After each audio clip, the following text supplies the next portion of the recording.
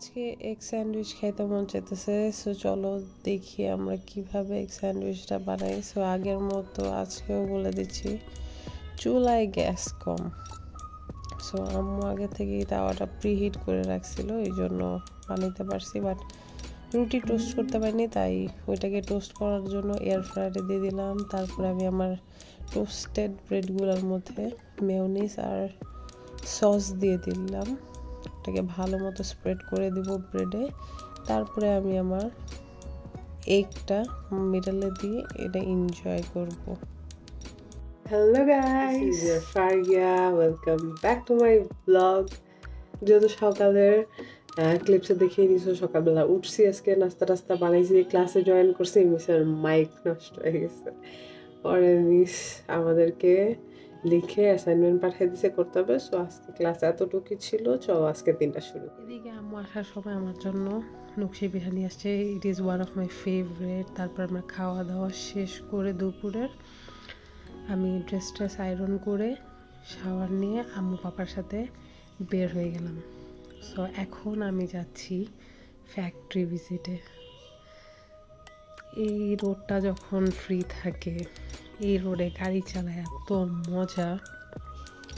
So আমি কিছু রোডের ক্লিপস নিয়ে নিলাম যাওয়ার সময়।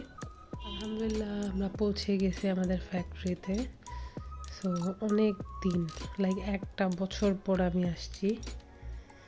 বিফোর দ্যাট আমরা একটু সামাইরা আগ্রু ঘুরে আসলাম।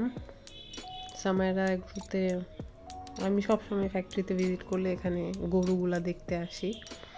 সো এখানে সব কোরবানির জন্য যত কালেকশন আছে আঙ্কেল নিয়ে আসছে। আর এখানে দেখো শিপসগুলা লাইক যে নতুন বাচ্চারা যখন নতুন কোনো মানুষের সাথে পরিচয় হলে মানে অচেনা মানুষদেরকে দেখে দৌড় দেয় একদম ঠিক এরকম পিছনের শিপটা আমাকে দেখে দৌড় দিছে। যাই হোক, এখানে অনেক বড় বড়, অনেক সুন্দর সুন্দর গরু এবার আঙ্কেল আনছে, সবসময় আনে।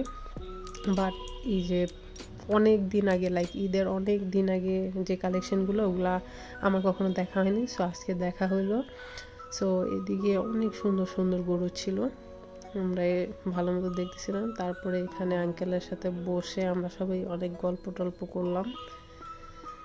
তারপরে আঙ্কেল আমাদেরকে কফি খাওয়াইলো তারপরে দেখো এখানে আমি যেখানে বসেছিলাম, এই দুইটা মহিষ আই গেস আমাকে এমনি দেখতেছিল সো ওইটা আমি একটু ক্লিপ নিয়ে নিলাম। তারপরে চলে গেলাম আমরা আমাদের ফ্যাক্টরিতে এখানে আমার আব্বু একটু গার্ডেনের মতো করছে সো এগুলো আমি তোমাদেরকে দেখাচ্ছি। ওইখানে অনেক রকম গাছ আছে, ফুল গাছ, তারপরে সবজি, শাক, অনেক কিছুই করছে। আমি এত কিছুর নাম জানি না।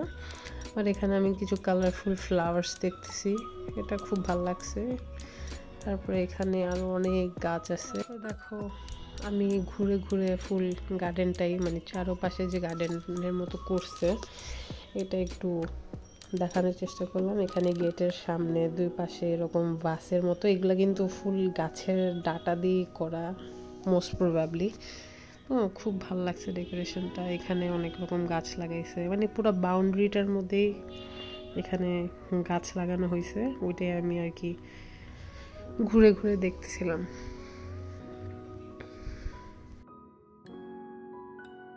আমাদের বিল্ডিংয়ের অনেকটা কাজ শেষ হয়েছে, ওইটাই আমি একটু ভিডিওতে আর কি নেওয়ার চেষ্টা করলাম। সো ইয়া আমার মোবাইল দিয়ে এরকম দেখা যাচ্ছিল। তারপরে এখানে দেখা একটা ইয়েলো কালার রোজ সো এটা আমি একটু ফোকাস করলাম।